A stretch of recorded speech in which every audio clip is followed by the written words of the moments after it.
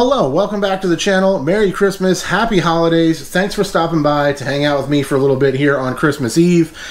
Tonight we're going to talk about the 12 discs of Christmas. I built a 12 disc bag here in my Rebel. It's going to start with my very first disc, the first disc I ever had, which was in fact a Christmas present.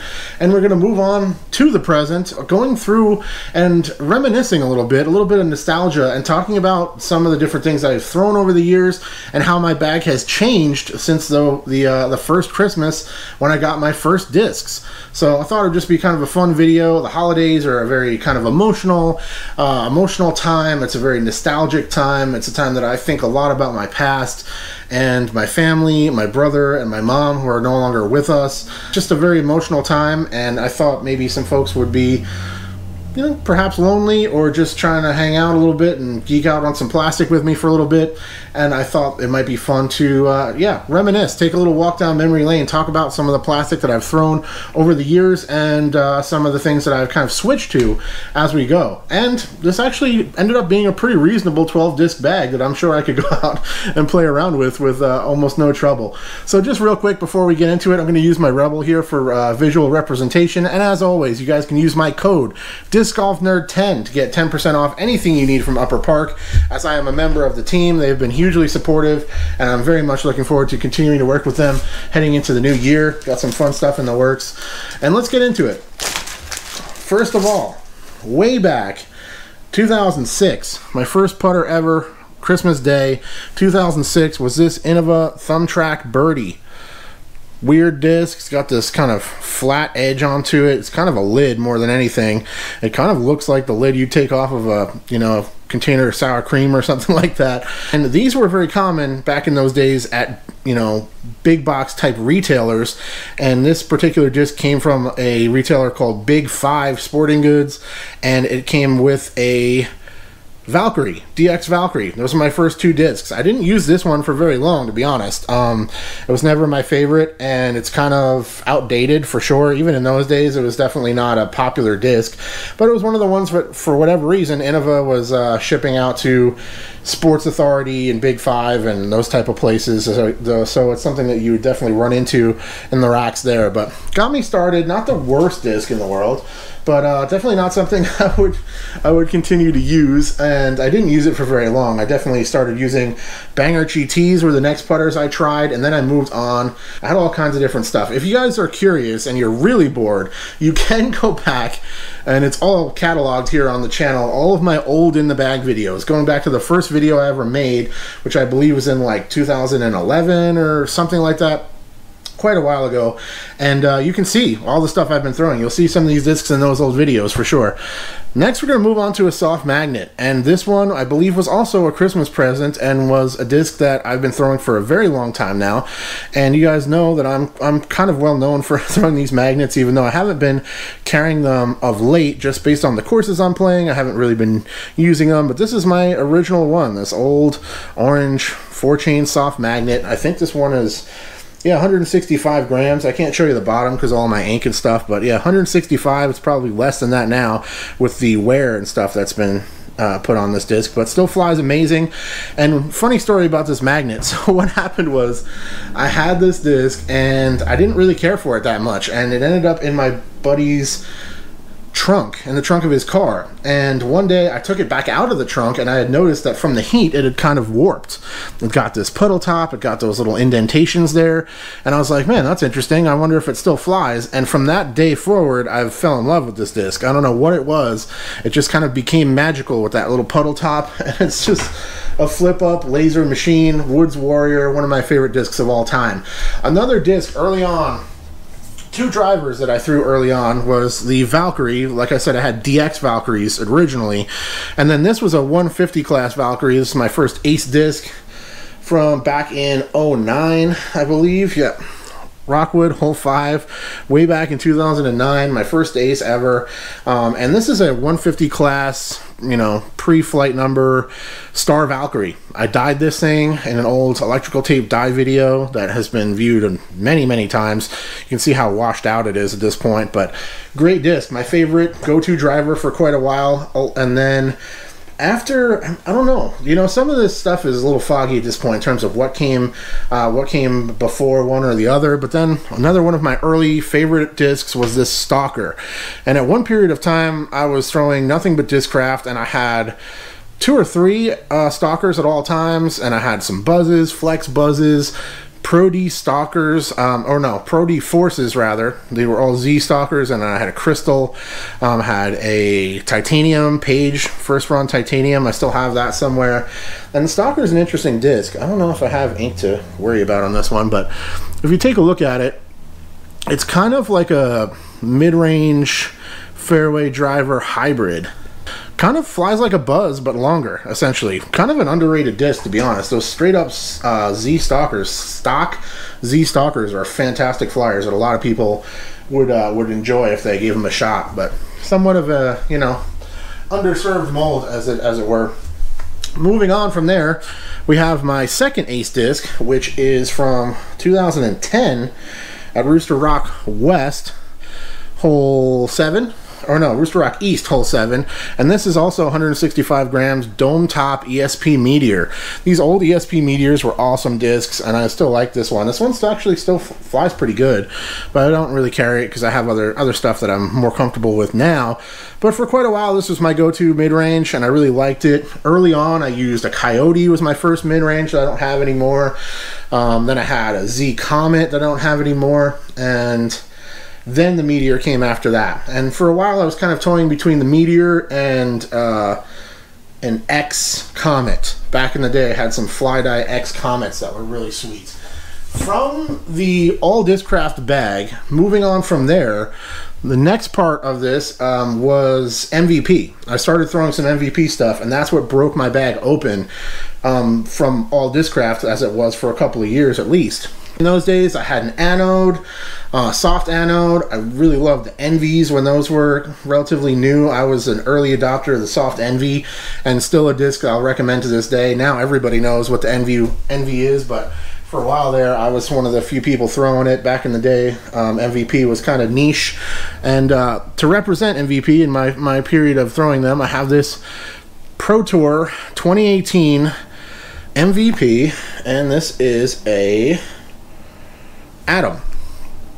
So this is a neutron atom that was sent to me directly by Steve Dodge, and we tested. Me and Andy tested these. I filmed him throwing them, and we produced assets that went on to the Disc Golf Pro Tour broadcasts um, during the World Championships and some other Pro Tour events on SmashBoxx at the time.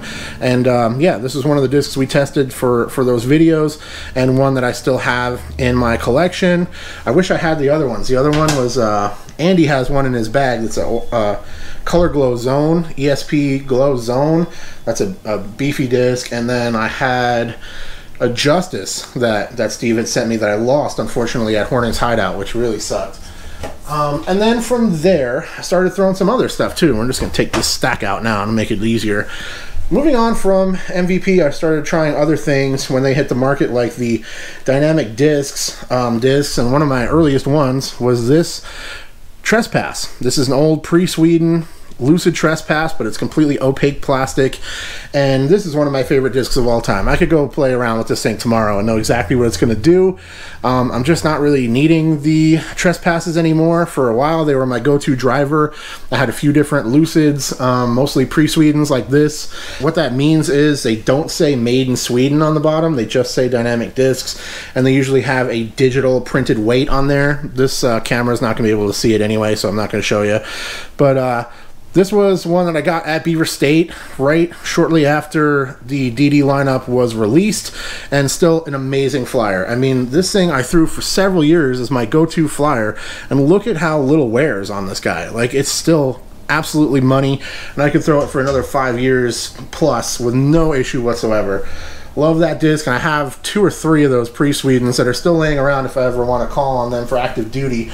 Shortly around that time, then also Latitude 64 picked up Ricky, and as a big Ricky fan in those days, um, I started throwing the compass and lots of other latitude discs in that time frame and this is one of my favorite compasses that I threw for several years. This is an old Ricky pre-world champ. He had not won the worlds yet um, for this one and this one is just an absolute line holder, as neutral as it gets. Put this thing on any line and it'll just take it start to finish. And I mostly threw it for straight shots and turnovers, and it worked phenomenal. I have a, a whole bunch of these compasses. Maybe someday we'll take you through the whole um, stack of compasses that I have. I have some throwers, and then I have a whole collection of Ricky compasses, all the different versions, because uh, Rick's my favorite player, and I had a fun time collecting those through the years.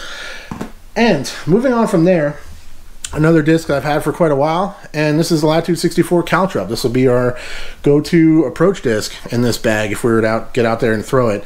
And this is a disc I've used for several years. It's still just as good as it was the day I got it, and could get thrown in at any time really great disc. You can throw it as hard as you want, flat and straight or slight hyzer, and it will just fly really straight and have a nice fade to it.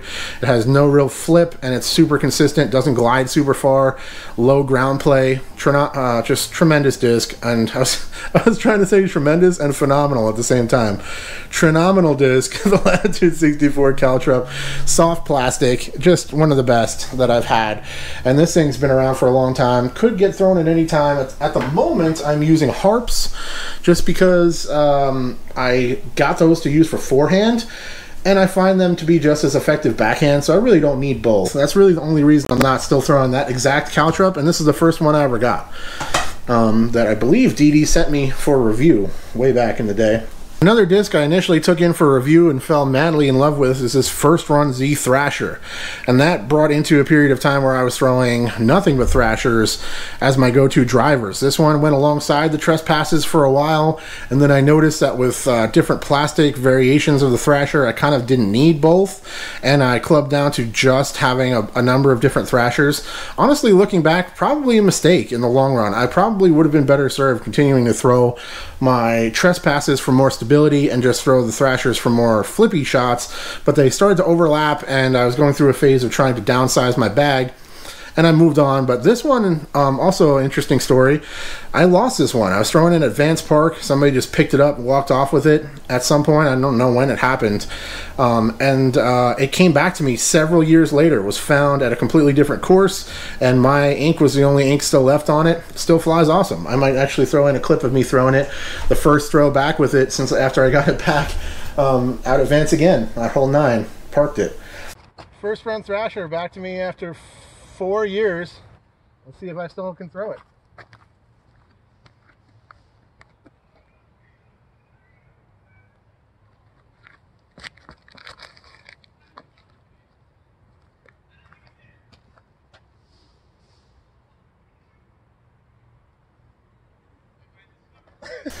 Um, and moving on, my number one Gobi. Now, if I turn the camera over a little bit, you'd see I have quite a few Gobis stacked up, and you guys have seen them before on the channel as well if you've been paying attention.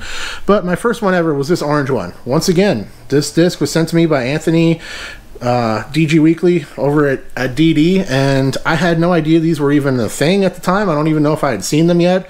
He sent me one as like a surprise, like, hey, here's a disc, review it, check it out right when they hit the market, and I fell super, super in love with this disc, and it maintains its spot as arguably my favorite disc of all time. Latitude 64 Gobi, sadly no longer being made, um, but man, is it a fantastic disc. If you can find a used one somewhere for a decent price, definitely re recommend checking it out. Unfortunately, quite uh, quite spendy to find those these days, um, but I luckily have uh, you know a handful of throwers and then some other new ones laying around, so I'm covered for a while but yeah, I would love to recommend the Gobi to more players. You know, if you guys could go buy them, I'd, I'd be recommending them constantly, but you can't, so I kind of don't. And finally, the 12th disc of Christmas. And this is a Latitude 64 Havoc given to me by my friend Chris Caulfield. And this one is a pop top burst gold line havoc. This one's really stable and really nice. And what happened here is kind of the reverse of what happened with the thrasher where i started throwing this havoc and i really liked it. I put it in the bag because it was more stable than my thrashers and extremely consistent and just flying really nice. And then I started testing more Havocs, and they, uh, uh, you know, eventually just knocked all the Thrashers out of my bag, and I'm, I'm throwing nothing but Havocs for distance at this point, but this is the first one I got, and and it's still something that's in my bag right now and represents my current bag and where we're at. So those are the 12 discs of Christmas. So that's the video for tonight. Thank you so much for watching. I appreciate all of you guys very much. If you've not seen it yet, I do have a holiday giveaway that's live right now. You can win an Evader and a Shield. So I'll put that in the end screen coming up here in just a second. Thank you so much for all your continued support. It's been an awesome year. The channel has grown by thousands of subscribers this year. I was looking back on it, and I think last year I was at 9,000 and we'll be heading into the new year at more than 13,000, 13 and, and change. I think like 13,200 already. Um, and it's amazing. I can I continue to try to do my best to make the content as good as I can and provide you guys with fun and informative stuff to watch and hopefully you guys like it. And I appreciate you all. Merry Christmas, Happy Holidays, and whichever way and whatever way you choose or are able to spend it and enjoy it. I hope you guys have a great night and a great day tomorrow and uh, safe and happy holiday season for the rest of the way. I'll talk to you all very soon. Cheers.